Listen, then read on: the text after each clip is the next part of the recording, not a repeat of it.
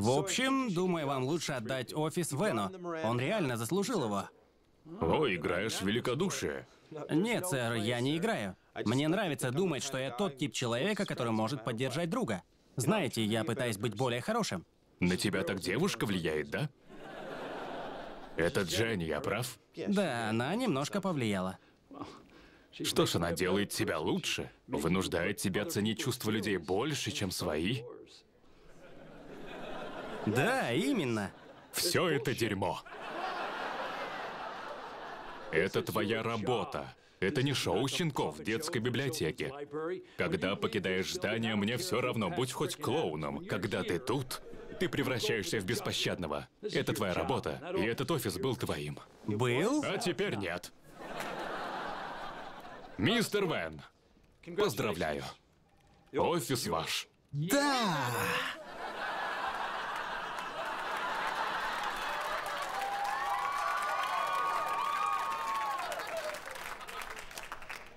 Я не могу поощрять такое. Я не отдам этот офис никому. В общем, я его отдам растениям в горшках. Это единственное вокруг, что не бесит меня.